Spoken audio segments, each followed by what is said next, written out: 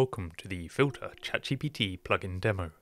To install Filtir, select this drop-down under GPT-4, then plug Store, and type Filtir in the search box, and then select Install, which will take a second or two.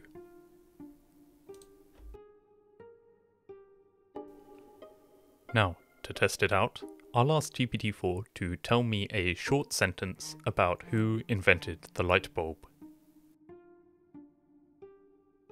It says the light bulb was invented by Thomas Edison in 1879. Let's ask GPT-4 to fact check this.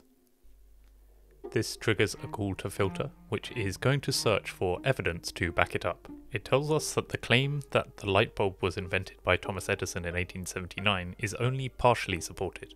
While Thomas Edison did significant work on the development of a practical and long lasting incandescent light bulb, he was not the first to invent the light bulb. Then we get some information about earlier inventors like Warren de la Rue and Moses G. Farmer.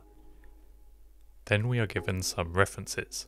We can click on a reference to see that, indeed, Edison built on the work of others, and find descriptions of the previous inventors mentioned by Filtir. It's important to note that Filtir is an early prototype and the fact checking is still imperfect, so you must still verify its outputs. Its main use right now is to help you fact check GPT outputs more efficiently. Starting today, it's available for ChatGPT Plus users.